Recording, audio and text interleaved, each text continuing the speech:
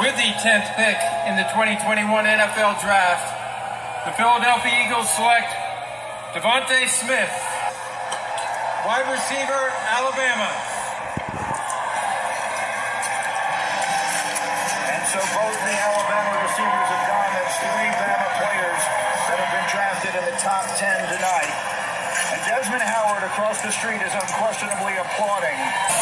So, Philadelphia Eagles, you've decided to go ahead and have DeVonta Smith from the Dallas Cowboys drafted as your next and new wide receiver for the Philadelphia Eagles, huh? Well, I'm gonna go ahead and see where this goes next season. Hopefully, this leads to positive effects, but this could also lead to some negative effects. If it leads to positivity, let's get popping. But if it doesn't and it leads to the worst of the worst, I'm gonna go ahead and.